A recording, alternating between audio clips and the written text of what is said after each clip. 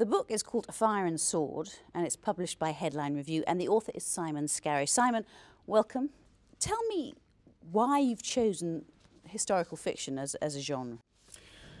Um, frankly, it's because that's where all the best stories are. Um, you know, you can. I mean, it, it just every time I seem to go away on holiday, whether it's to somewhere like Crete or it could be to Syria or something like that, I've always found that I've come away from the holiday with about three or four stories that I could tell. You know, and if, um, for example, earlier this year we went to um, Rhodes, Syria, and Egypt, and um, the ideas book by the end of that holiday was kind of about you know that high. Do you go everywhere with a notepad? I try not to, but it just happens. You know, if I don't have one, I go out and buy one. Um, and in Rhodes, it was just the story of the Knights of Malta. Um, they became the Knights of Malta eventually, the Order of St John. And um, when you, the first thing that strikes you when you get to Rhodes, for example, is just this fantastic sort of medieval fortifications around the town, and they're largely intact. And the old town is, is largely intact as it would have been during the siege.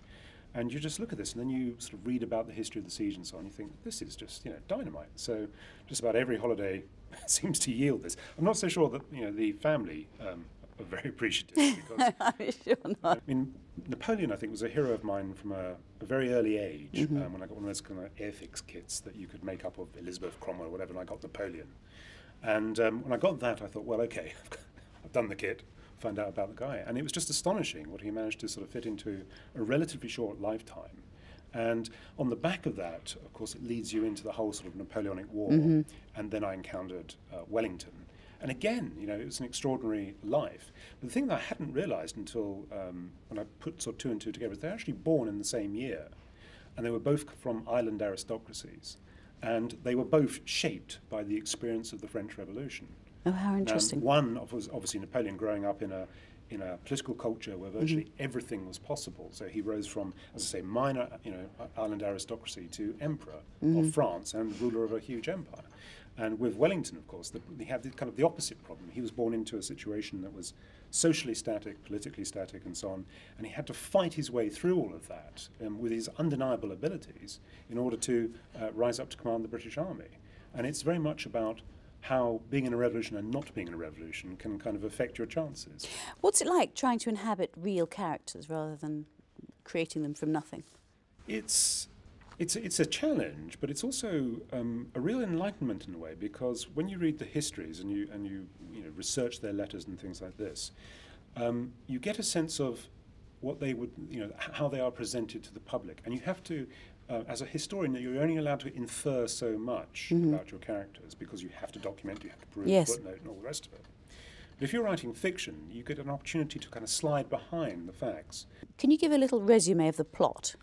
well, this such as one, it is. Um, takes us from Napoleon's coronation as emperor um, up until um, that's his story. That's up Mm-hmm. until his um, invasion of Spain and the replacement of the uh, the French royal family with his brother. I mean, he's busy doing this all around Europe, sort of. Uh, Finding the plum jobs for the family. Mm-hmm. Um, and from Wellington's um, point of view, it's from the time he returned from India. And in this book, he, he sort of ends up in Spain, and it's the, be, the beginning of the Peninsula campaign. So obviously, the fourth book is which is going to tie it all together and end at Waterloo. I don't want to spoil it. Right, no, no, no. We know how that ends. Um, you know, it is going to be about the um, the retreat from Moscow, and it's going to be the Waterloo campaign and and the Peninsular War. So Now, you're quite prolific and you also write incredibly chunky novels, don't you? well, I like to kind of think of them as a sort of fitness program as well as a good read. well, So, exactly. a third is a worker. Are you very rigid about your working schedule? Do you? Um, no, I'm only rigid when my editor gets on the phone. and Oh, says, really? You do realise the deadline's you know, in a month and a bit's time, and uh, So, how many words a day? it depends. Um, these are different because I'm constantly having to check facts and you know make sure everything's absolutely right and so on. That takes the best part of about um, eight eight months to actually write. That's having done all the research. Okay. Um, the Roman books, um, because I've al- already done the research, I just had brilliant Latin teachers at school who just kind of filled my head full of all the essential facts. Those stories kind of just roll out at high speed because they're just, you know, they are breakneck kind of books. So it's uh, a lot quicker. So I can do those in about sort of three to four months. Well, we've got, and, and then next we've got the last one in this series Mm-hmm. to, to look forward to. And what, what's that called? That's going to be called um, Fields of Death because, you know, this is, it's going to be the book with the highest casualty yeah, rate, yeah. Oh, yes, of course. well, I look forward to it. Thank you very much. Si- that was Simon Scarrow talking about his novel Fire and Sword.